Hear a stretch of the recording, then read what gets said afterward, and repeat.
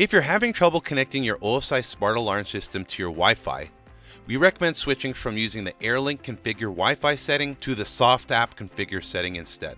Typically, we recommend trying to connect to your Wi-Fi using the AirLink configure Wi-Fi setting, but in some situations, the Wi-Fi router is not compatible to the AirLink connection. Therefore, we recommend using SoftAP, which allows the OSI alarm to create an internal wireless hotspot.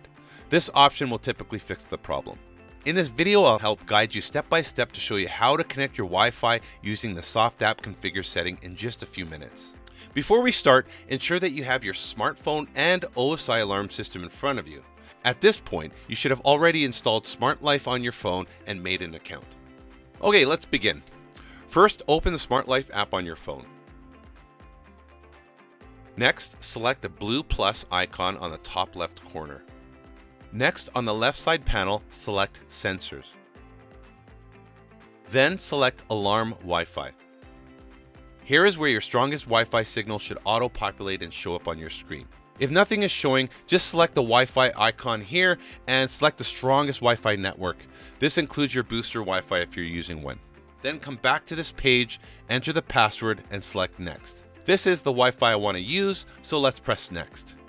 On this page, click on where it says Easy Mode at the top right corner. Then select AP Mode. AP Mode just stands for Access Point. Selecting this will allow Smart Life to connect to the internal OSI Alarm Wi-Fi access point.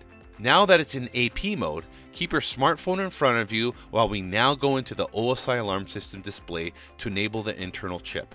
This allows Smart Life app to connect to it. So on the OSI Alarm System display, select Menu, then select Wi-Fi, then select SoftAP Configure located at the very right. Now before we select the checkmark to confirm, take note that the timer will start counting down from 300 seconds. This is the time you have to complete the rest of the steps on your Smart Life app. So let's select the checkmark and go back to the smartphone.